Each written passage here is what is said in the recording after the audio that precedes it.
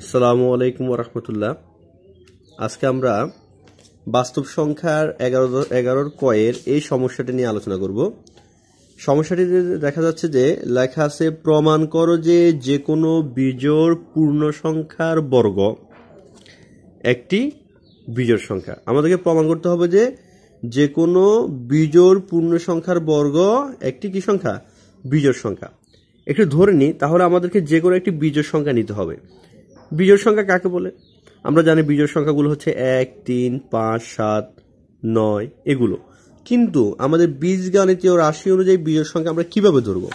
Very simple বিজোড় সংখ্যা হচ্ছে ওই ধরনের সংখ্যা, যেগুলো হচ্ছে জোড় সংখ্যা থেকে হয় এক যোগ হবে, অথবা জোড় সংখ্যা থেকে এক বিয়োগ হবে।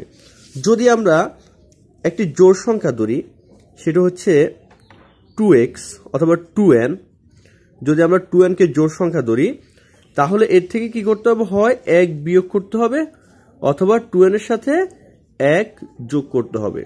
আচ্ছা যাক, এখানে টু এনদের জোর সংখ্যা, সেটি আমার অন্য একটি ভিডিওতে আছে, আপনারা দেখে নেবেন ইনশাআল্লাহ। তাহলে টু এন মাইনাস ওয়ান এটি হচ্ছে জোড় বিজোড় সংখ্যা টু এন প্লাস ওয়ান এটিও বিজোড় সংখ্যা। কিন্তু এটি বিজোড় সংখ্যা, সবগুলো বিজোড় সংখ্যা প্রকাশ করে না, এটি পরিপূর্ণ বিজোড় সংখ্যা নয়। কেন? একটু খেয়াল করুন যদি আমরা এন এর জায়গায় ওয়ান বসাই, তাহলে আমাদের এন এর জায়গায় ওয়ান বসলে হবে two into one plus one অর্থাৎ দুই একে দুই যোগ এক, অর্থাৎ তিন। যদি আমরা এন এর জায়গায় টু বসাই, তাহলে এন এর জায়গায় টু বসালে কি হবে? Two into two plus one তাহলে দুই দুগুণা চার প্লাস এক, চার একে পাঁচ। তাহলে আমাদের বিজয় সংখ্যা তিন থেকে শুরু হইতেছে যদি আমরা টু এন প্লাস ওয়ান ধরি, তাহলে তিন থেকে শুরু হইতেছে। কিন্তু আমরা যদি টু এন মাইনাস ওয়ান ধরি, তাহলে দেখুন তো বিজয় সঙ্গে কথা থেকে শুরু হয়। তাহলে আমরা এন এর জায়গায় যদি এন এর জায়গায় যদি ওয়ান ধরি, তাহলে two into one minus one তাহলে দুই একে দুই মাইনাস ওয়ান তাহলে কি হয়? টু থেকে ওয়ান গেলে ওয়ান এরপর আমরা এন এর জায়গায় যদি টু ধরি, তাহলে কি হয়?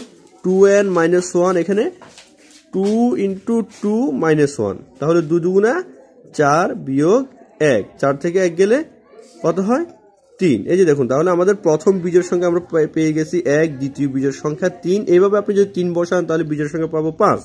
অর্থাৎ বীজোর সংখ্যার বীজগণিতীয় রাশি হচ্ছে টু এন মাইনাস ওয়ান এটি আসুন তাহলে।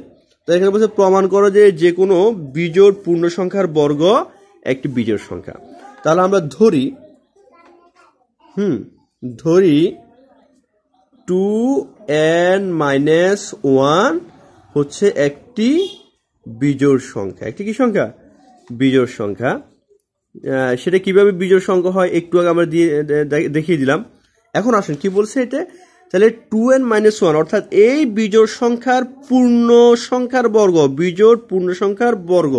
আসুন, একে যদি আমরা বর্গ করি, তাহলে two n minus one whole square অর্থাৎ বর্গ করলে কি হবে দেখুন তো? তাহলে যদি আমরা একে এ ধরি, অর্থাৎ এটা হচ্ছে এই ফর্মেট আকার হবে এ মাইনাস বি হোল স্কোয়ারের ফর্মেট আকার হবে।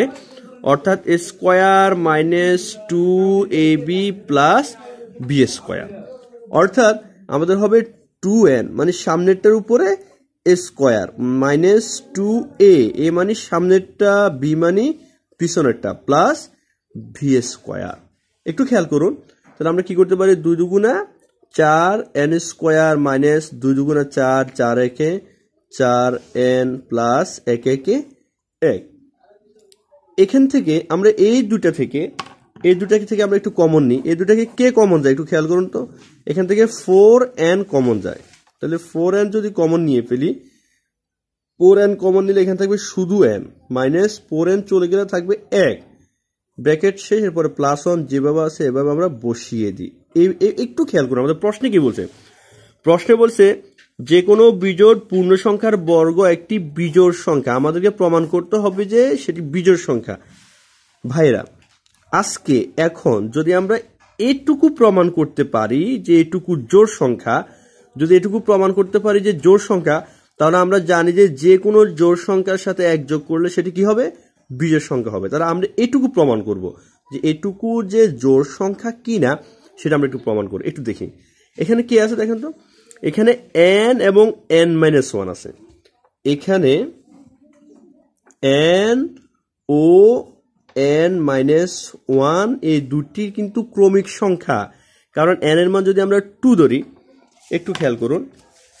এন এর মান যদি আমরা টু ধরি, তাহলে এন মাইনাস ওয়ান হচ্ছে টু থেকে এক কম, অর্থাৎ এক। দেখুন, দুটোটা ক্রমিক সংখ্যা। আর এন এর মান যদি আমরা ফাইভ ধরি তাহলে এন মাইনাস ওয়ান মানে ফাইভ থেকে এক কম, অর্থাৎ সেটা হচ্ছে ফোর দেখুন, ক্রমিক সংখ্যা। ঠিক এন এর মান যদি আমরা সিক্স ধরি, তাহলে এন মাইনাস ওয়ান অর্থাৎ সিক্স থেকে এক কম, অর্থাৎ ফাইভ সেটা হচ্ছে কি সংখ্যা? ক্রমিক সংখ্যা। তাহলে আমরা বলতে পারি এন এবং এন মাইনাস ওয়ান দুটোটা কি সংখ্যা? ক্রমিক সংখ্যা। আমরা লিখে দিই। এখানে এন ও এন মাইনাস ওয়ান ক্রমিক সংখ্যা। ক্রমিক সংখ্যা। হুম। যাহাদের যাহাদের গুণফল যাহাদের গুণফল জোর সংখ্যা। তাহলে এখানে এন ও এন মাইনাস ওয়ান ক্রমিক সংখ্যা যাহাদের গুণফল জোর সংখ্যা। হয়তো অনেকে বলবেন, তাহাদের গুণফল কীভাবে জোড় সংখ্যা হয়? ক্রমিক সংখ্যার গুণফল কীভাবে জোড় সংখ্যা হয়? আসুন, তাদের জন্য আমরা একটু সিম্পল ভেরি সিম্পল একটু একটু, দশ সেকেন্ড একটু এদিকে তাকান। আমরা ক্রমিক সংখ্যাগুলো লিখি। ক্রমিক সংখ্যাগুলো হচ্ছে এক, দুই, তিন, চার, পাঁচ, ছয়, এভাবে আরও অনেক যায়, আমরা আর লিখলাম না। দেখুন তো, এক এবং দুই কি সংখ্যা? ক্রমিক সংখ্যা। তাহলে এক এবং দুই গুণ করেন। তাহলে দুই একে দুই। দেখুন, দুই এবং তিন কি সংখ্যা? ক্রমিক সংখ্যা। তাহলে দুই এর তিনে গুণ করেন তিন দুগুণা ছয়। তিন এবং চার ক্রমিক সংখ্যা। গুণ করেন তিন চেরা বারো। চার এবং পাঁচ ক্রমিক সংখ্যা গুণ করেন। চার পাঁচা বিশ। পাঁচ এবং ছয় কি সংখ্যা? ক্রমিক সংখ্যা গুণ করেন পাঁচ, ছয়, ত্রিশ। তার একটু খেয়াল করুন। তাহলে আমরা দেখছি যে দুইটি ক্রমিক সংখ্যার গুণফল, এই যে দেখেন দুই। দুই কি সংখ্যা? জোড় সংখ্যা। দুইটি ক্রমিক সংখ্যার গুণফল কি পাইছি আমরা? সিক্স তাহলে এটি কি সংখ্যা? জোড় সংখ্যা। তিন এবং চারের গুণফল কি পাইছি আমরা? টুয়েলভ অর্থাৎ বারো। বারো কি কি সংখ্যা? জোড় সংখ্যা। ঠিক চার এবং পাঁচের গুণফল বিশ, সেটাও জোড় সংখ্যা। পাঁচ এবং ছয়ের গুণফল তিরিশ, সেটাও জোড় সংখ্যা। অর্থাৎ আমরা দেখলাম যে এন ও এন মাইনাস ওয়ান যদি ক্রমিক সংখ্যা হয়, তাহলে তাহাদের গুণফল কি সংখ্যা হবে? জোড় সংখ্যা হবে। তাদের গুণফল কি হবে? জোড় সংখ্যা হবে। তাহলে ভাইয়েরা, তাহলে যে কোনো জোড় সংখ্যার সাথে যদি আমরা চার দিয়ে গুণ করি, যে কোনো জোড় সংখ্যাকে চার দিয়ে গুণ করলে কি হবে? জোড় সংখ্যা হবে। তাহলে সুতরাং আমরা লিখতে পারি, সুতরাং তাহলে four n into n minus one জোর সংখ্যা জোর সংখ্যা। তাহলে ক্লিয়ার?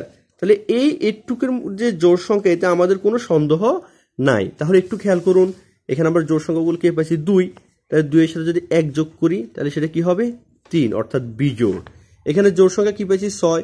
ছয়ের সাথে যদি এক যোগ করি, সেটা হবে সাত, অর্থাৎ সেটি বিজোড়। এখানে জোড় সংখ্যা পাইছি বারো। বারোর সাথে একযোগ করলে হবে তেরো। সেটা কি? বিজোড়। বিশের সাথে এক যোগ করলে একুশ। বিজোড়। তিরিশের সাথে এক যোগ করলে কি হবে? একত্রিশ। সেটি কি সংখ্যা?